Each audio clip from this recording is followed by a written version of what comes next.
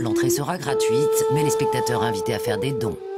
Et si jongler était un loisir comme un autre, nous vous proposons ce soir de découvrir dans notre vue d'ici une association rennaise, Jonglerie, qui existe depuis 1994.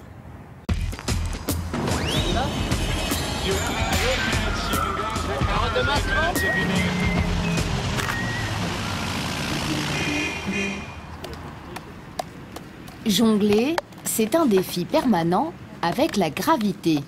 Celle qui veut qu'un objet lancé en l'air retombe inévitablement par terre. À Rennes, une poignée de passionnés se retrouvent deux fois par semaine pour s'entraîner grâce à l'association Jonglerie. Des passionnés qui, dans le domaine, touchent leurs billes. Il y a vraiment des gens qui sont étonnants à chaque fois qu'ils arrivent. Ils savent pas jongler, ils prennent trois balles dans les mains, ils les jettent et puis euh, ils commencent à, faire des figures euh, au bout d'une heure ou deux. C'est un peu écœurant de dire ça pour les gens qui s'acharnent pendant une semaine euh, sans arriver à, à faire tourner les balles. Mais les balles, les massues, les bâtons n'ont pas vocation qu'à être lancés en l'air. On peut aussi essayer de les apprivoiser, une discipline à part entière.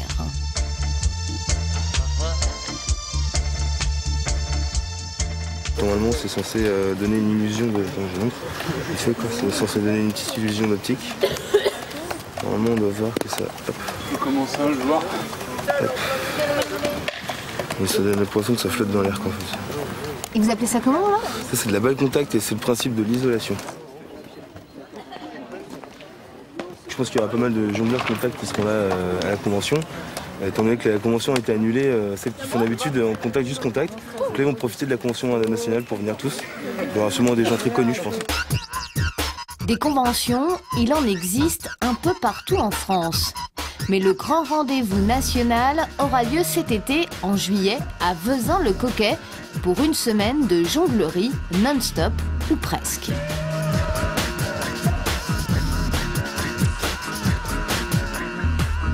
On pourrait dire que c'est un festival de jonglerie pour les amateurs et les professionnels. Ça va être des rencontres euh, avec des, ateliers tout le long de la semaine, des spectacles avec euh, des artistes qui viennent de très loin.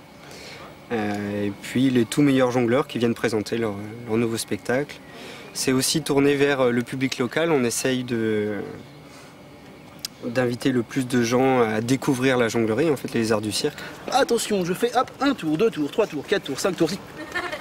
Oh non, zut Oh non, mince. Ah oui, attendez. Hop Incroyable. Ok, attention, maintenant. Le grand 8, je passe par ici, je passe par là, attention, je jette, je tire, et hop, et là. Je rattrape ensuite l'hélicoptère. Que l'on soit amateur ou professionnel, les arts du cirque sont avant tout une véritable école de patience. Et c'est en tombant souvent que l'on apprend à tenir debout.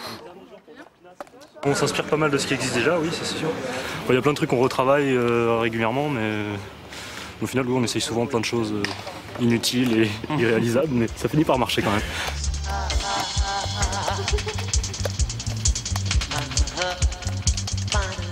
La convention Bigouden Jongle, ce sera du 10 au 17 juillet à Vezin-le-Coquet. Allez, il vous reste encore trois mois pour y arriver.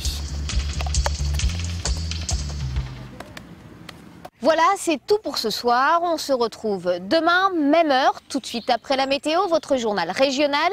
Le thème du dossier développé ce soir, faut-il craindre le manque d'eau en Bretagne? Je vous souhaite une très belle soirée sur France 3. Retrouvez votre édition locale en podcast sur France 3.